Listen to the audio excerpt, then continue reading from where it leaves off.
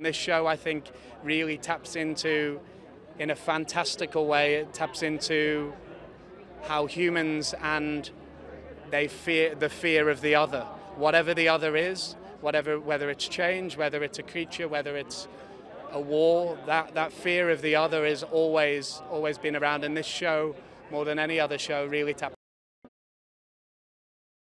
I play Jonah Breakspear. My name's Arty, Arty Froushan.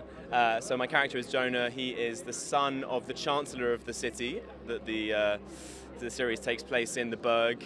He is a Lothario. He is um, a bit of a a bit of a ne'er do well, and he uh, you know he takes life in his stride. He's very kind of cocksure about things until a few unexpected.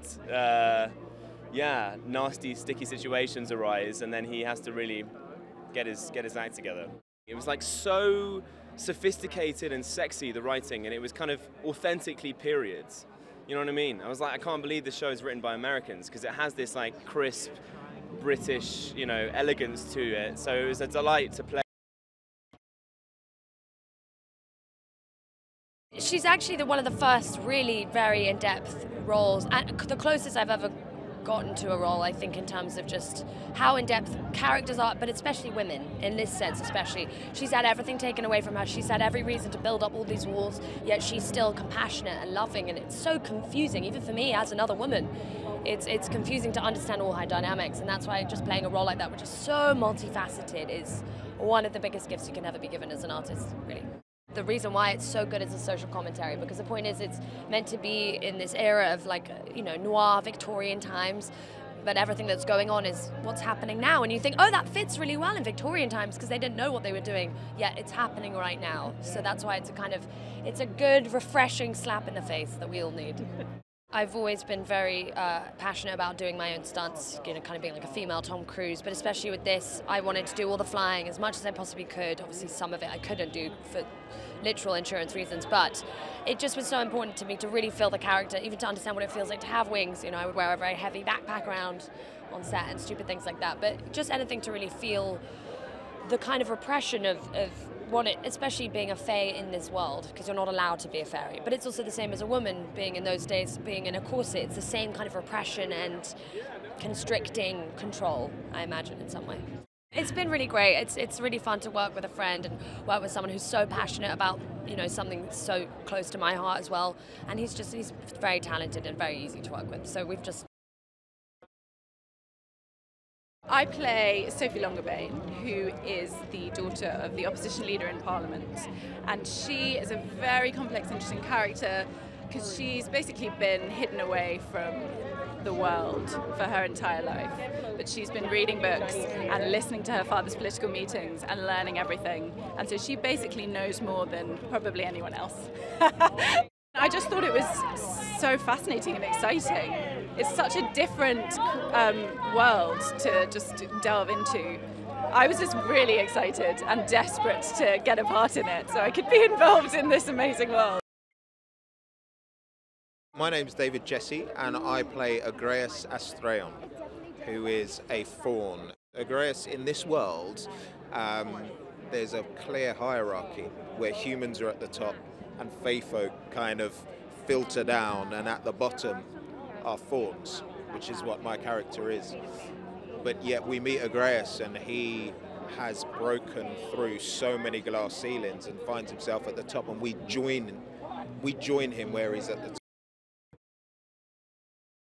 I'm Jared Harris, and I play Absalom Breakspear, who is the Chancellor of the Burgue. This is my younger brother, Jamie. Jamie Harris. I played Sergeant Dombey, who's a little bit of a racist and nationalist. Thank you. I I was taken by the I love the noir element of it, the detective uh, sort of thriller element of it, um, and it was th- these sort of stories that where you have to invent a world um, where there's it's not based on books. It's very difficult to do, and uh, Travis and Renee did an amazing job about building out this very very cohesive world. The world felt very realistic, and and I love my character because I felt he's quite relevant to today. and so it, it, it, you were able to sort of dig deep into nationalists, you know, racism, and try and figure your way around it, which what I love it most about it is it's original. You know, like we live in a world where everything is based on a movie or a book or a comic book, or and I love all those things. But I love the fact that this is unique. You know, it's it's there's nothing. You know, if you want to watch Carnival Row, you can't experience it in any other medium. You have to come to the show, and I love that. Like that. That's to me is something we need to do a little bit more of. The show is huge. It's very expansive there are so many different storylines, so many different characters, and there is a little bit of something for everybody. We had like crazy amounts of time and equipment and resources, and it really is a cinematic experience because they allowed us all the things we needed to shoot a movie. I really honestly felt like I'd never seen a world like this. Um, this is, of course, the brainchild of Travis Beacham, who's our creative, um, you know, imaginer, director, and showrunner and creator. He, it was, it was a character that I thought, wow, if I'm gonna, you know, get involved in in a TV world, which is so exciting in the world we live in today, I was like, the thing for me is how am I going to like really dive into like eight hours of TV because really that's what we're doing. It's an eight-hour movie and and potentially more. You know, obviously we're going into a second series, and I was like, there was just so much to mine within there, so much humanity, so much empathy, and there's a sort of interesting commentary on the world at large, many of the big issues that are in the world, but but really it's also a wonderful noir detective drama thriller, and um, it felt like it had a little bit for everybody, and um, and a world that I was excited to see. I hope that people will come for the entertainment and stay for the for the for the social messaging and the idea that actually when like art mirrors life, life mirrors art, you kind of you, you get something more than just what you paid for, you know, which is I think as an actor that's the greatest gift. I have to say a big like a big shout out to Amazon for the way that they have really got behind the show and, and put it put their best foot forward to, to make something really special. I think, you know, to have greenlit the show before it comes out is a big, you know, pat on the back and a, a big sign of how confident they feel about both, you know, the material and the work that's been done in it. And, and you know, look, it's a kind of it's lightning in a bottle, isn't it? We've done it before. We've been here before. We know. So it's like hopefully you know audiences respond in the same way with the same excitement that we got into it. This is 20 years of, of, of, work, and people think, oh, it's a game of this. Somebody trying to be like Game of Thrones. No, it's not. We we're Carnival Row. We're not.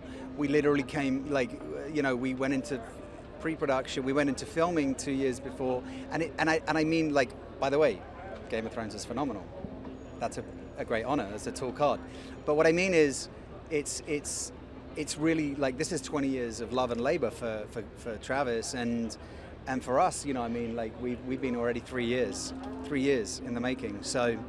Um, it's there's there's a lot of love in it and a lot of hard work and toil and sweat and everything that goes into trying to make a, make something great. I'm Tamzin Merchant and I play Imogen Spurnrose in Carnival Row.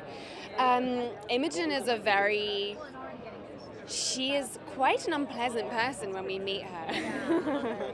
and it's quite fun to play that. I really wanted to be part of Carnival Row because I love the idea of having, like, I've done a lot of period dramas, but I've never done a period drama where I have a tea party with a guy with horns and hooves. Like, that's really exciting. What do you, like, that's not something that I've ever seen before. It was so epic to do. This basically is an eight-hour movie for Amazon. It's like an, a, an eight-hour movie. You know, you can do on TV nowadays. You can tell these giant stories that are more like multi-part movies, or even when we're in the writers' room, we're saying it's actually more like a book, really, and each episode being a different chapter and um, and it's just it's it's incredible fun because it lets you tell these very very complex, um, you know, just dripping with drama kind of stories. I, I had this idea in a, in college, like in my dorm room, like 17 years ago, and was kind of writing it as. Um, as just a fun thing, like a sandbox to play in, and didn't really imagine that anything would come of it.